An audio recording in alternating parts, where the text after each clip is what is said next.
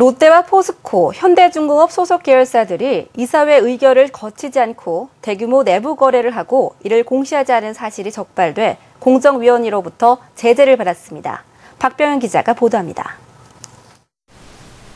롯데와 포스코, 현대중공업 소속 17개 계열사가 이사회 의결 없이 대규모 내부 거래를 하고 이를 공시하지 않은 사실이 적발돼 행정처분을 받았습니다.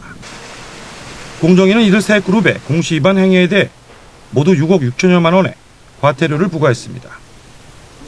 공정거래법에 따르면 상호출자 제한 기업 집단 소속 회사는 특수관계인과 자본금의 5% 또는 50억 원 이상의 대규모 내부 거래를 할 경우 미리 이사회 의결을 거친 후 공시하도록 되어 있습니다.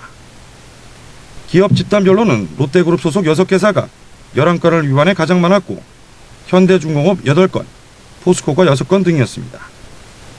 공정위 관계자는 롯데그룹에 대한 과태료가 다른 그룹에 비해 많은 이유는 과태료 금액이 큰 미의결 미공시가 9건이나 됐기 때문이라고 설명했습니다. 위반 유형별로는 이사회 의결을 거치지 않고 공시도 하지 않은 경우가 13건으로 가장 많았고 주요 내용을 누락한 경우가 7건, 이사회 의결을 거쳤으나 공시를 하지 않은 경우가 3건, 지연 공시를 한 경우가 2건 등이었습니다. 공시 의무 위반 비율은 포스코가 5.4%로 가장 높았고 현대중공업 3.1%, 롯데 1.8% 순이었습니다. 위반 건수가 가장 많은 롯데의 위반 비율이 상대적으로 낮게 나온 이유는 내부 거래 건수가 607건으로 다른 그룹에 비해 월등히 많았기 때문입니다.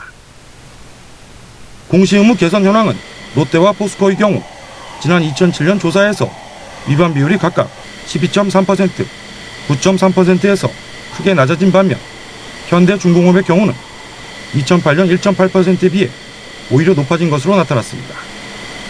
공정위는 내부 거래 공시 의무 이행 여부를 지속적으로 점검해 위반 시 엄중히 제재한다는 방침입니다. 한국경제TV 박병현입니다.